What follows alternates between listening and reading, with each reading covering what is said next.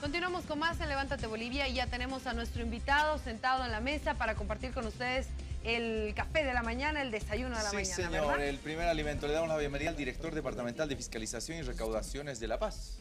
Eh, coronel Gonzalo Mercado, ¿cómo está? Muy buenos días. Bienvenido, coronel. bienvenido. Un placer Gracias. tenerlo acá con nosotros. Ah, servimos algo caliente para Sí, disfrutar favor. la, charla, ¿está bien? Querido coronel, ya han pasado 48 horas de que arrancó la inspección. ¿Y cómo evalúa usted estos dos días?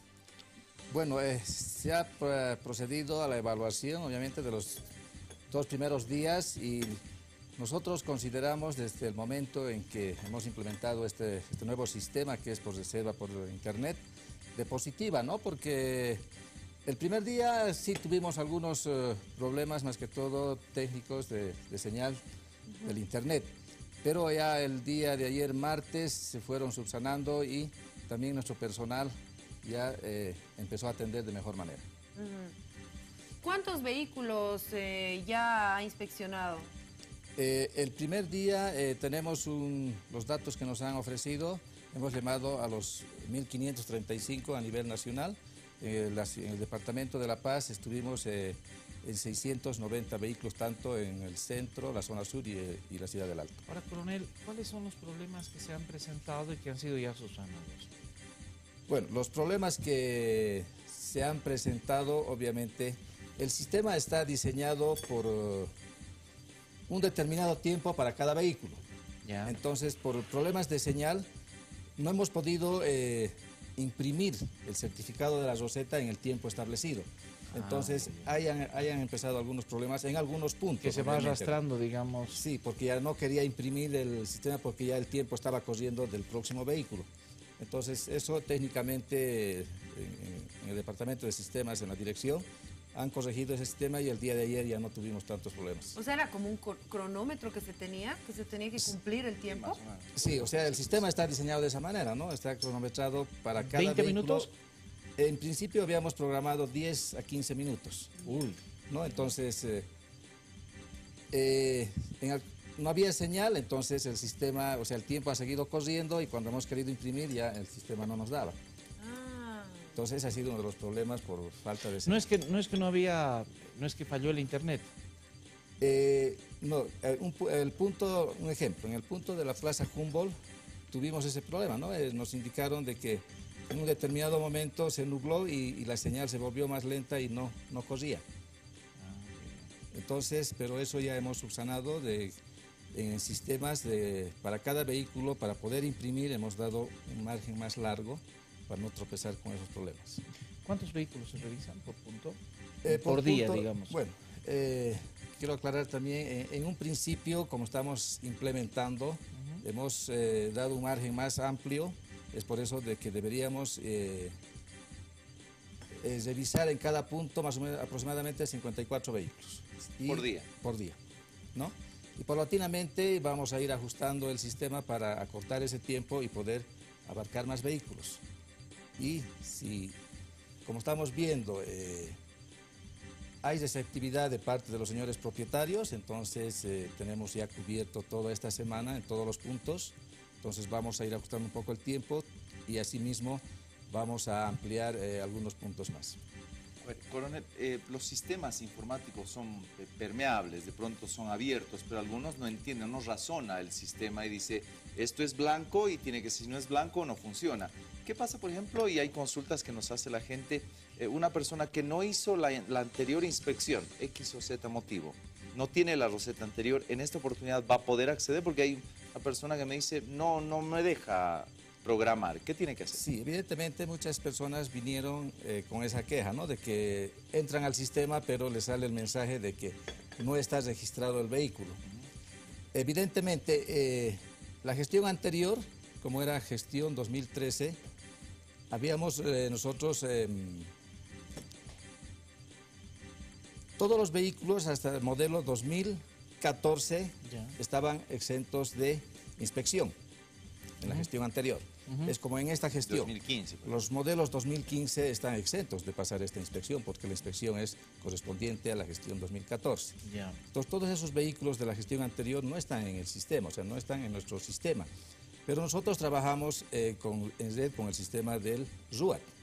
Ah, ya. Entonces, la persona viene, nos trae el certificado del RUAT y, y con el número de la placa introducimos al sistema y en nuestra base de datos, obviamente, que no está inscrito. Es por ese motivo que en el mensaje sale vehículo ¿Y no qué tiene que registrado. hacer?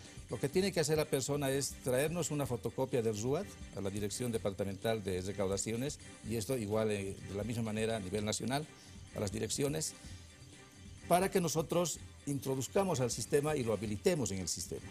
Entonces, posterior a eso, la persona ya puede hacer su... Es como no haber participado en las como no haber elecciones. participado, exactamente. Como estar No, depurado. Pero hay multa, No, no, por si acaso.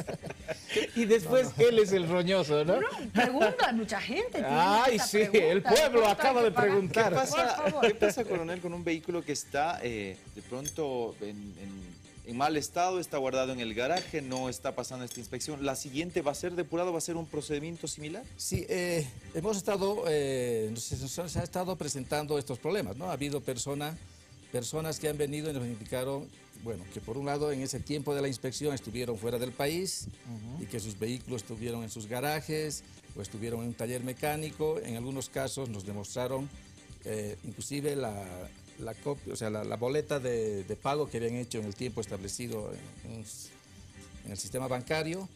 Bueno, en esos casos eh, nosotros les estamos eh, habilitando automáticamente. Pero en aquellas personas que no han pasado la inspección porque realmente no han deseado No han pasar, querido. no han querido pasar, obviamente de acuerdo al Código de Tránsito hay un artículo donde indica de que las personas que en el tiempo establecido no presentaron sus vehículos a un punto de inspección tienen una multa de 40 bolivianos. O sea, si reservas y no vas. No, no, no. No. El que No, no, no, no. no hizo la anterior La anterior inspección. Ah, el, que- no te presentaste, tienes un vehículo, digamos, del 2012, no te presentaste a la, a ¿A la inspección, multa. Sí. No, Pero corresponde. tiene sentido. Sí. claro, está bien. Ahora, tengo aquí una consulta. Y en realidad es de Ricardo. Porque él hizo su inspección el lunes, pero tuvo problemas. A ver, Ricardito, vos cuéntanos un poquito para que el coronel nos pueda aclarar la duda. Exactamente, eh, bueno, esto fue en Yojeta, ¿no? Había el- este problema de la eh, comunicación, por- posiblemente por el internet. Entonces, bueno, eh, se suspendió, por lo menos hasta las diez y media que me tocó estar. ¿Cuál va a ser la solución en este caso a futuro? Porque sabemos que la tecnología no siempre es al 100%. En caso de que nuevamente el sistema eh, no funcione o el internet se vuelva a colgar, eh, ¿cuál va a ser la solución para la gente que no va a poder hacer en ese momento, eh, a pesar de su reserva, esta inspección? ¿Se trasladará otro día? Como es cronometrado, como se tiene ya una lista de gente que ya ha reservado horario, ¿cuál será la solución que se pondrá, coronel? Perdón, antes de que conteste, coronel, pero al final terminaste toda la inspección. Sí, sí, sí, ayer tuvimos la oportunidad. Ayer martes. Ayer martes, Ah, exactamente. ya, ya tienes todo. Ya tenemos todo. Ay, nosotros no. Pero a ver, ¿cuál es la...? Sí, bueno, el primer día tuvimos esos problemas por, eh, por la falta de señal. Ajá. ¿no? Porque ubicábamos un, un punto, estaba ya despachando bien y de pronto se cortaba. Entonces hemos tenido que mover la caseta donde mejor señal hemos tenido y, Ay, qué y hemos terrible, sí, o sea, ¿no? increíbles A son. ver, aquí. Ah, No aquí. hay señal. Acá, pero estamos en media calle, no importa. Corte, pongan conos. Pero eh, hemos eh, instruido de que como está corriendo el tiempo, entonces se ha procedido a la inspección tanto mecánica como eléctrica en ese tiempo establecido y obviamente estaba pendiente lo que era la impresión de la roseta. Es por ese motivo, de, de esa manera hemos subsanado momentáneamente, pero ahora ya hemos Ahora- corregido los problemas. Solo la gente que reserva por internet puede hacer su, re- su revisión. Porque hay gente que dice, no, yo no, por ejemplo, no, no, no sé manejar. Mi suegro me dice, no sé cómo, cómo funciona esta cosa. Pero va con su autito Y espera. y se coloca en la fila y puede esperar un par de horas. ¿Pueden hacerlo también?